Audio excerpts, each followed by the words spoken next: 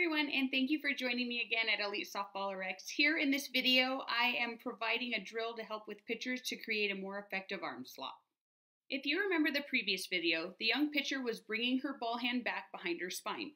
This pattern developed a bad chain reaction. Do you notice her shoulders are no longer on target?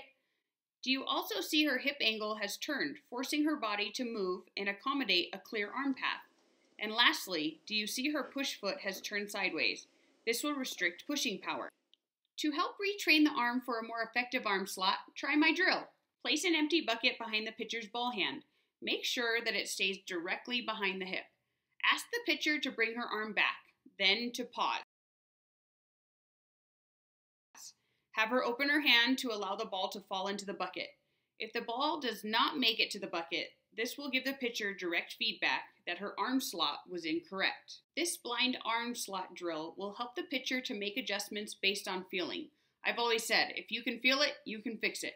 I hope you've enjoyed this video. If you're interested in learning more, please subscribe to my YouTube channel or follow me on Facebook at Elite Softball RX.